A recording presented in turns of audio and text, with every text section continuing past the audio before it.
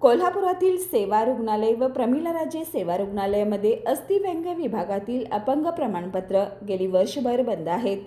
हे कशाबद्दल बंद केले आहेत याचा खुलासा होऊन त्वरित अंमलबजावणी व्हावी अशी मागणी आज सी पी आर अधिष्ठाता यांच्याकडे अखिल भारतीय हिंदू महासभेच्या वतीनं निवेदनाद्वारे करण्यात आले जिल्हाध्यक्ष संदीप सासने यांच्या नेतृत्वाखाली शिष्टमंडळानं हे निवेदन दिलं आहे निवेदनात म्हटलं आहे की कोल्हापूर सेवा रुग्णालय प्रमिला राजे सेवा रुग्णालय ही गोरगरीब आणि सामान्य जनतेची आरोग्यविषयक सेवा करणारी रक्तवाहिनी आहे. परंतु या ठिकाणी सेवा करणारे काही उद्दंड अधिकारी कर्मचारी आणि तकलादू पद्धतीने काम करणारी यंत्रणा आहे.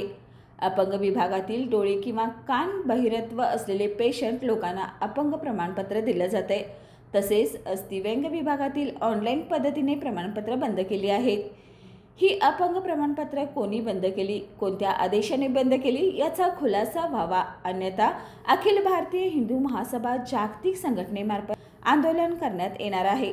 या आंदोलनामुळे होणाऱ्या परिणामास आपण जबाबदार असणार ही दखल घ्यावी असं नमूद करण्यात आले यावेळी स्नेहा चिले शीतल तिवडे अंजना सावर्डेकर गजानन सुभेदार विनोद पालकर अर्जुन पवार लहुजी शिंदे आदी उपस्थित होते.